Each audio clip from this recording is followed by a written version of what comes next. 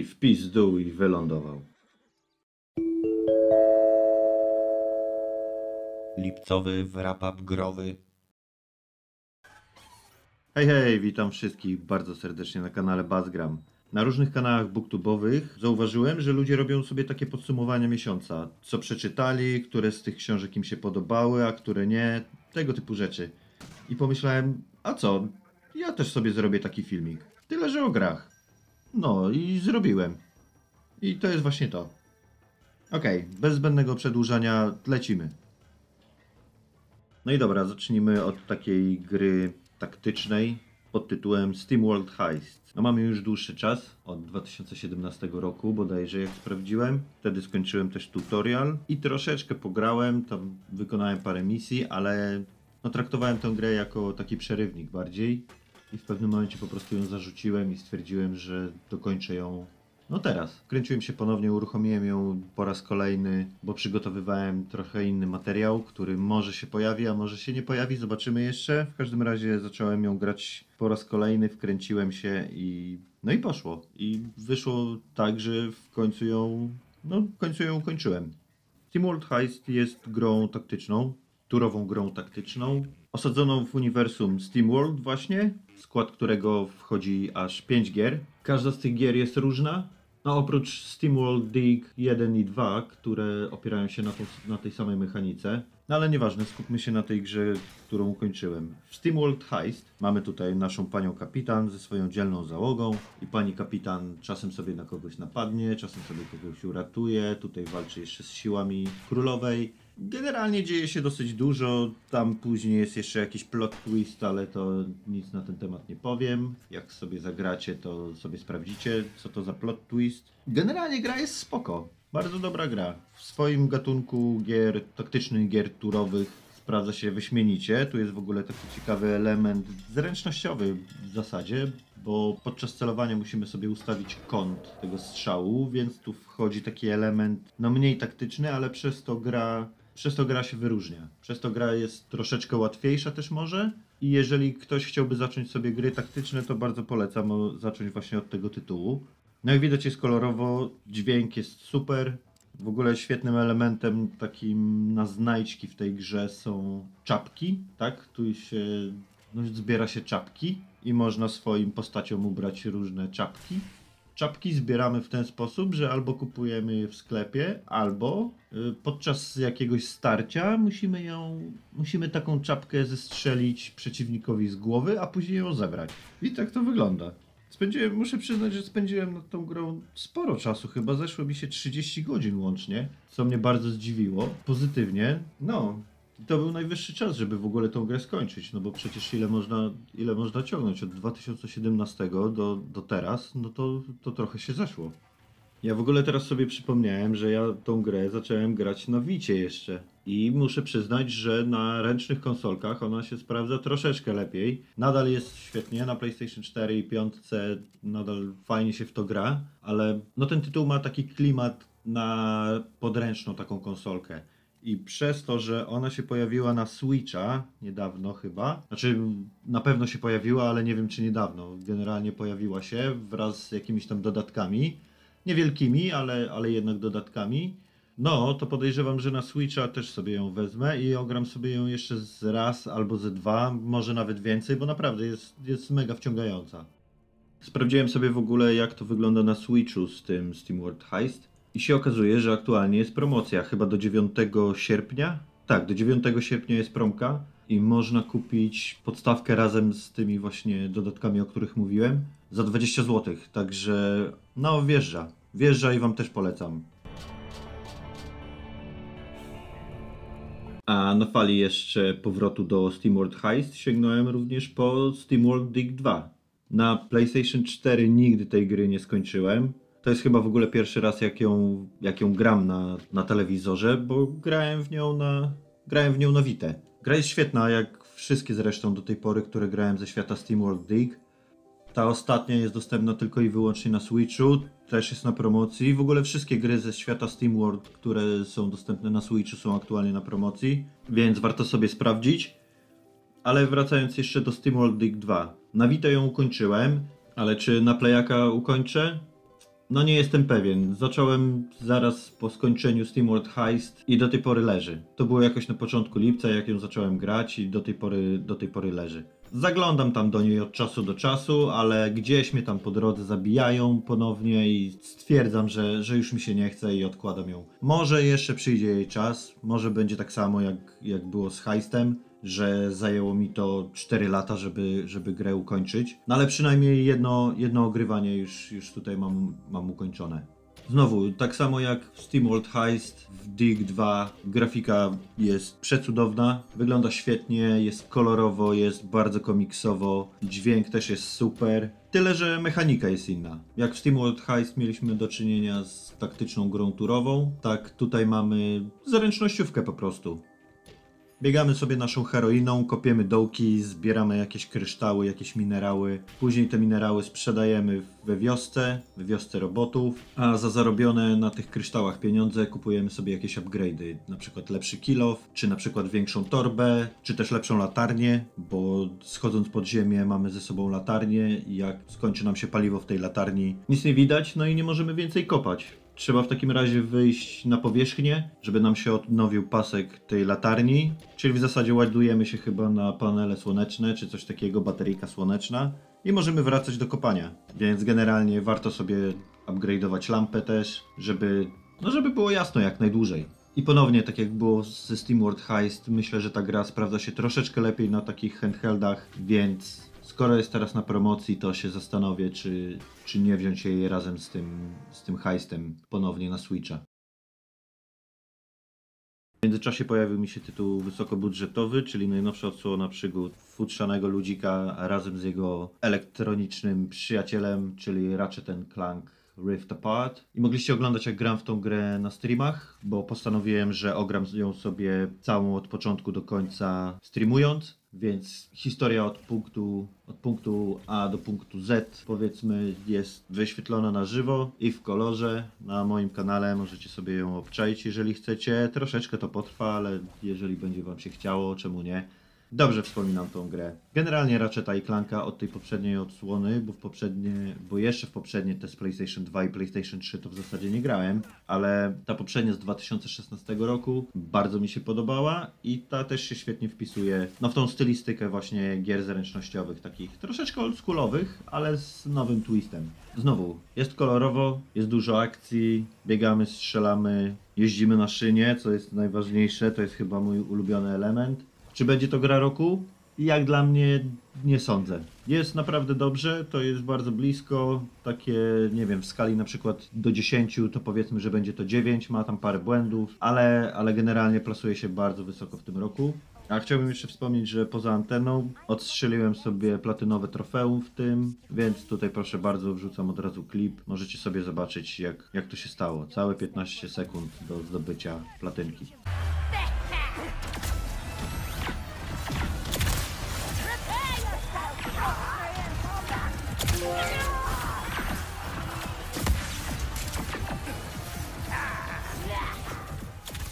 Prawie zapomniałem wspomnieć, że troszeczkę mi się zeszło ukończenie tego Ratcheta i Clanka, chociaż gra nie jest najdłuższa, ale grałem ją tylko i wyłącznie w te dni, kiedy miałem wolne od pracy, więc w sumie co tydzień. Tam mi się udawało jakieś na przykład jeden, dwa, czasami trzy dni streama zrobić, więc chyba mi się zeszło ze trzy, ze trzy tygodnie chyba łącznie mi się zeszło na przejście tej gry. No troszeczkę, troszeczkę będzie. A w międzyczasie ograłem sobie jeszcze takie tytuły jak, jak ten następny. Mogliście go już widzieć na moim kanale również. Jest to Open Country. Na Open Country zrobiłem aż całe dwa filmiki. Najpierw jednego zagrajmy w, a później uzupełnienie i weryfikacja mojej oceny całego tego produktu. Generalnie gra dostała nagrodę Popeliny, czyli no nie jest to dobry tytuł. Tam jest cała masa błędów. Od tego momentu w ogóle jak, jak sobie ją troszeczkę nadrobiłem i wypuściłem do sieci to, to uzupełnienie, to w ogóle już jej nie ruszyłem. Sprawdzałem tylko, czy są jakieś update'y do gry. Niestety do tej pory nic się nie, nie pojawiło, więc no po tej klęsce z psem to w ogóle nie wróciłem do tego tytułu. Jak chcecie, tutaj dam odnośnik do, do filmiku i możecie sobie zerknąć. No, nie polecam, nie polecam. To była w ogóle straszna strata czasu i pieniędzy. Przez takie numery to odchodzi niestety ochota na kontynuowanie historii. W zasadzie to nie ma nawet jak kontynuować tej historii, bo generalnie no nie ma zwierzaka. Kolejnym tytułem, który ogrywałem w lipcu jest My Time at Porsche. Rzecz dzieje się w dalekiej przyszłości, kiedy nasza cywilizacja już upadła, ludzie wyszli z bunkrów czy czegokolwiek, podnieśli się z kolan, już budują sobie miasta, budują sobie takie, takie dosyć podstawowe rzeczy. Jest tam niby technologia, ale tak wygląda to takie połączenie troszeczkę średniowiecza z takimi bardziej współczesnymi technologiami. No i my tworzymy sobie naszą postać. Może to być jakiś ziutek, może to być ziutkini. I po ojcu, który kiedyś, kiedyś dawno nas tam opuścił, odziedziczamy jego warsztat w mieście Porsche. I w tym warsztacie będziemy robić różne rzeczy dla mieszkańców tego miasteczka. Będziemy się uczyć naszej nowej profesji, będziemy wytwarzać przedmioty dla mieszkańców tego miasteczka. No, i tak to wygląda właśnie. Biegamy, zbieramy surowce, naparzamy zwierzątka, żeby wypadły z nich również surowce, na przykład jakieś futro albo kupa. Od czasu do czasu musimy sobie jeszcze wejść do jakichś ruin, na jakieś wykopaliska, żeby wykopać właśnie różne no, surowce, surprise, oraz jakieś znajdźki właśnie ze starych czasów, które możemy później sprzedać, albo jak zbierzemy różne części, to się z tego chyba zbuduje jakiś, nie wiem, jakiś pomnik albo coś takiego. Do tego momentu jeszcze nie doszedłem, więc nie wiem. Trudno mi cokolwiek na ten temat powiedzieć. No mam, nie wiem, około 8 godzin może przegranych w tą grę, może mniej troszeczkę. Oprócz samego zbierania surowców i wytwarzania rzeczy, to jeszcze budujemy relacje między nami a mieszkańcami, wygrywamy jakieś konkursy albo przegrywamy, zależy jak nam pójdzie. No i generalnie na tym polega w zasadzie gra, no to wychodzi. Jeżeli będziecie chcieli spróbować tej gry, to musicie się nastawić na to, że jest dużo biegania po otwartym takim świecie i powtarzania mniej więcej tych samych czynności. Czy będę w to grał? No nie wiem, trudno mi powiedzieć. Na razie grę zarzuciłem. Największy minus, jaki, jaki widzę w tej grze, to jest to, że jest ona mega cukierkowa taka. Nawet, nawet to, to naparzanie zwierzątek różnego typu, na przykład jakichś kolorowych lam, czy panów biedronków, panów biedronek, to wygląda dosyć tak komicznie. Widać, że to jest tak, tak, żeby cieszyło oko i generalnie było bardzo kolorowo i sympatycznie, żeby jak jest już jakaś przemoc, to żeby to była taka przemoc właśnie kreskówkowa, żeby nikogo nie zrazić. No i z jednej strony spoko, bo ma to być taka gra, która jest relaksująca i tutaj budujemy sobie, nie ma jakby konfliktów, strzelania krwi, flaków i tego wszystkiego. A z drugiej strony, no troszeczkę to do mnie nie przemówiło. No nie wiem, jak dla mnie ta gra ląduje póki co na, na półce i poczeka na lepsze czasy. Może na jesień podejdę do niej jeszcze raz, zobaczymy.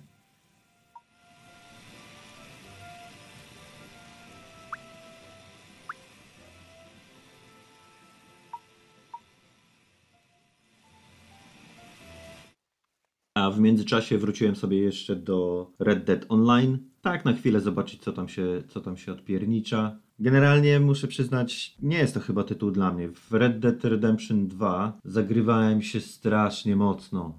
To była jedna z moich ulubionych gier. Spędziłem nad nią bardzo, bardzo dużo czasu i postanowiłem sprawdzić sobie Red Dead Online. No i tutaj troszeczkę się zmieniło, gdyż no nie jest to moja ulubiona gra. Świat wydaje się bardzo, bardzo pusty w tej grze. Jakby tam nie było prawie nic do roboty. W ogóle chyba zrobiłem błąd zaczynając grać online, bo wybrałem sobie ścieżkę przyrodnika. I biorąc tylko i wyłącznie ścieżkę przyrodnika, no to jest mega nudno. Tam się praktycznie nic nie dzieje. Biegamy, szukamy zwierzaków różnego typu i maści, usypiamy, zbieramy próbki, odnosimy próbki do, do pani, która daje nam za to pieniążki. No i tyle. I to jest jeżdżenie w koło i szukanie zwierzaków. Jak na grę online, powiem Wam od razu, to jest zdecydowanie za mało i za namową kolegi postanowiłem wziąć sobie jeszcze dwie dodatkowe role. Wziąłem rolę bimbrownika oraz kolekcjonera. Jeżeli chodzi o rolę bimbrownika, to doszedłem do kontaktu z panią, która zleca nam kupienie jakiegoś miejsca właśnie pod zbudowanie bimbrowni. I na tym moja rola się skończyła, bo nie widzę więcej żadnych zadań związanych z tą profesją. Więc, więc w zasadzie nie wiem, jak to, jak to się dalej rozwinie. Jeżeli chodzi o kolekcjonera, to jest tutaj już o wiele lepiej, chociaż trzeba wydać sporo złota, tej waluty takiej bardziej premium, na przykład na jakąś sakiewkę, żeby zbierać te kolekcje wszystkie, no ale to już wtedy się dzieje więcej.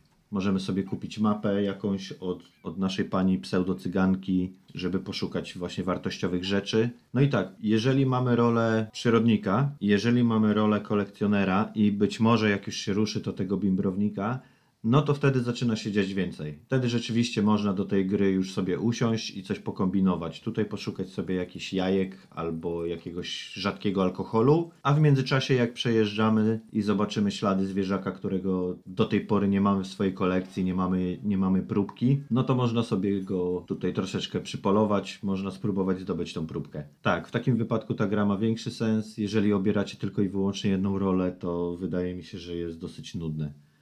Poza tym denerwują mnie tam inni gracze. To jest po prostu. Widać, że oni też się troszeczkę nudzą.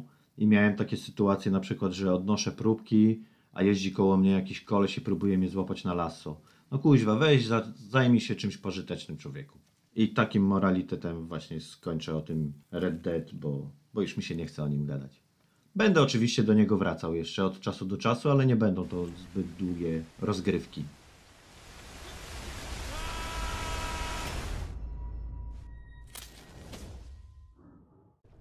W międzyczasie na PlayStation Store zaczęła się letnia wyprzedaż gier i postanowiłem sobie chwycić z niej dwa tytuły. Jeden z nich już widzieliście na moim kanale. Jeżeli jeszcze nie widzieliście, to zapraszam serdecznie, ale do niego zaraz wrócimy. Opowiem najpierw o pierwszym, czyli Curse of the Dead Gods. Curse of the Dead Gods jest roguelike'iem z izometrycznym rzutem, osadzonym w azteckich mitach i stylistyce. No i tak jak stylistyka przyciągnęła mnie do tego tytułu, to kiedy tylko go odpaliłem i dostałem pierwsze srogie lanie, to stwierdziłem, że zaraz się okaże, że ta gra nie jest jednak dla mnie. I muszę przyznać, że na początku byłem do niego bardzo nieprzekonany. No, dzieje się dużo, Czasem zdarzało mi się, że w ogóle nie wiedziałem, który ja mam guzik nacisnąć. Wpadł w ogóle jakiś stres, chaos, nie wiadomo co. Gdzie tu jest jakieś daszowanie, gdzie tu jest, no gdzie tu jest co, w ogóle, no panika straszna. Ale pierwszych kilka gier tak, tak ograłem. W międzyczasie dostałem jeszcze kociokwiku, jeżeli chodzi o, o ogarnięcie tego, co się dzieje w menu tej pierwszej komnacie, w której się znajdujemy, gdzie wybieramy sobie wyposażenie. Tam jest tego mnóstwo po prostu cała masa rzeczy do odblokowania, do znalezienia. Od broni po umiejętności, po jakieś boskie przysługi.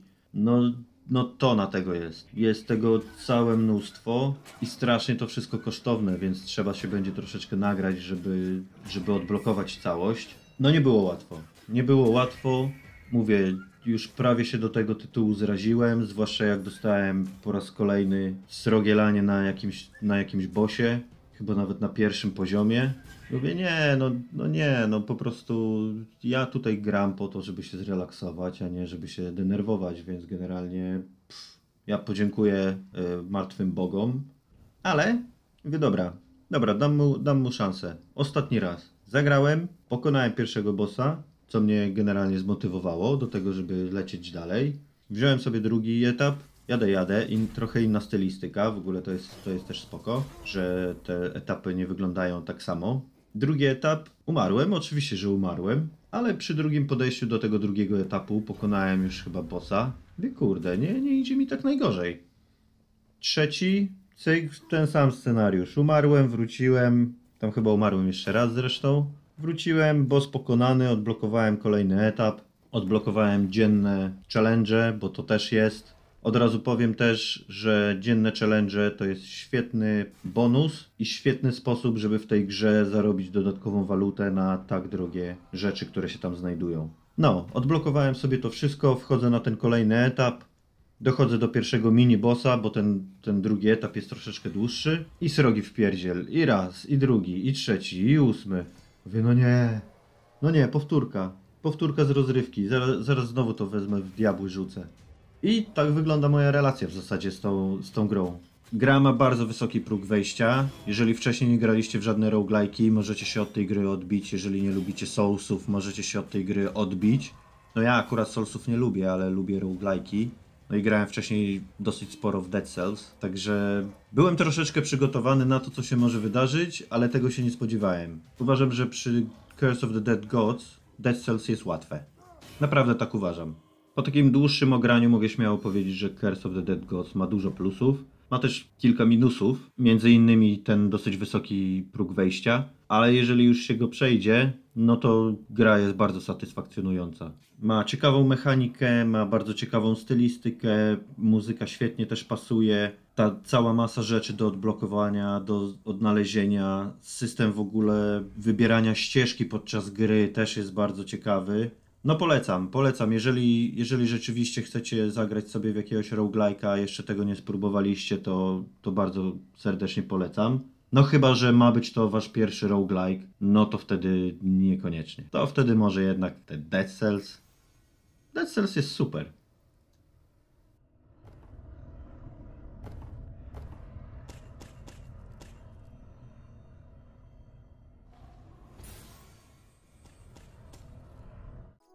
Ależ o tych martwych bogach się rozgadałem, ja pierdzielę. Dobra, nie ma co przedłużać, lecimy dalej. Kolejną grą, którą zakupiłem sobie podczas wyprzedaży letniej, było wcześniej już wspomniane Karto. Karto jest super. Karto jest ekstra grą, wygląda przepięknie, ma przepiękną historię, ma bardzo ciekawą mechanikę, której wcześniej do tej pory nie widziałem w żadnej grze, czyli obracamy sobie kawałkami mapy i te kawałki mapy w rzeczywistości obracają ląd, na którym na przykład stoimy. Rewelacja, rewelacja.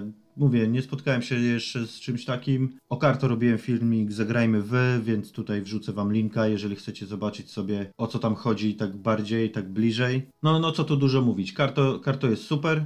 Karto dostało również ode mnie moją pierwszą nagrodę Złotego Plastra. No nie mogę nachwalić się tej gry, jest, jest naprawdę bardzo dobra. Bierzcie i grajcie. W karto udało mi się jeszcze zdobyć platynowe trofeum, więc popatrzcie sobie jak to zrobiłem. Od razu uprzedzam, że jest tam również spoiler do jednej z zagadek, do jednego z trofeów, więc tak, czujcie się ostrzeżeni.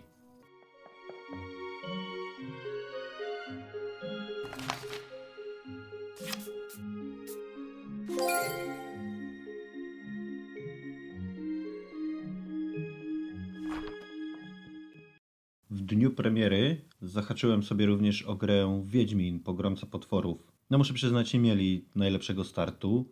Problemy techniczne piętrzyły się podczas tego pierwszego dnia i w grę można było zagrać dopiero późnym popołudniem. Postanowiłem dać tej grze szansę, chociaż fanem Wiesława nie jestem. W zasadzie to z Wiesławem jesteśmy na pan, ale no, no postanowiłem, że, że jednak spróbuję. Trochę połaziłem, pokręciłem się z miejsca na miejsce. Tu ubiłem jakiegoś potwora, tu drugiego. Tu poszedłem zrobić tego pierwszego questa. No ale to, to nie będzie tytuł, którym ja się będę zajmował jakoś długo. Po pierwsze, nie chce mi się wychodzić jakoś specjalnie po to, żeby, żeby tylko upolować jakiegoś potwora czy, czy coś takiego. No a po drugie, no mówię, no pan, wie, pan Wiesław to, to nie jest mój klimat jednak.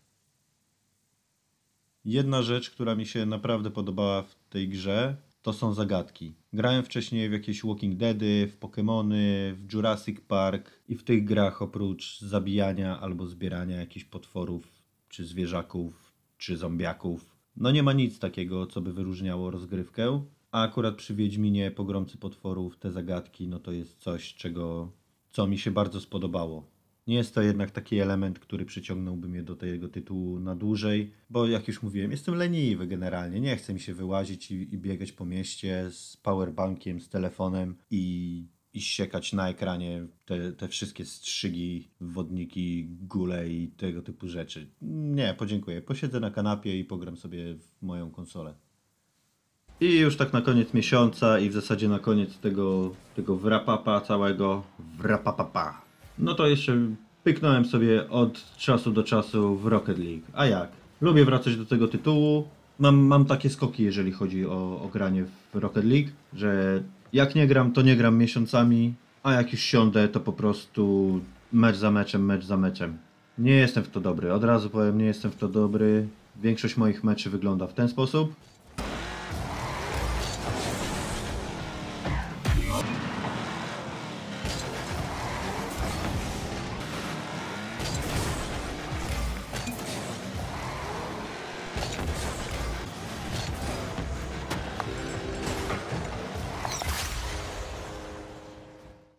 Ale czasem zdarzy się, że jest również tak.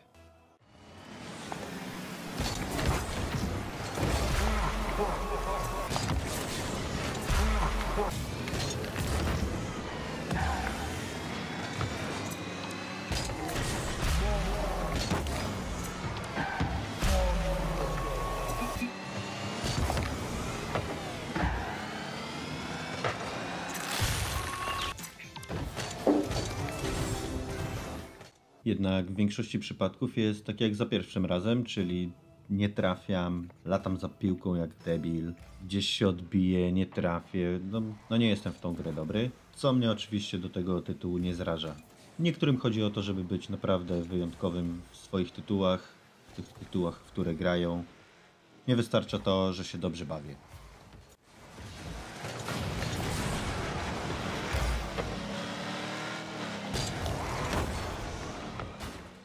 I tak oto prezentuje się mój growy lipiec. Trzy gry ukończone, z czego dwie z platynowymi trofeami.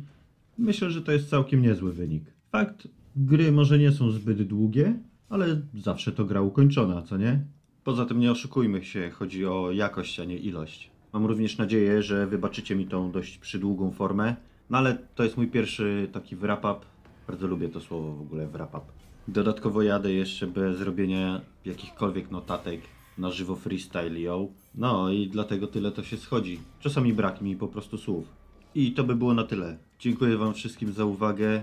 Dziękuję również wszystkim moim subskrybentom. Dobiliśmy do 50 subskrypcji. Jestem z Was bardzo dumny i dziękuję Wam bardzo serdecznie za, za te subskrypcje, za klikanie.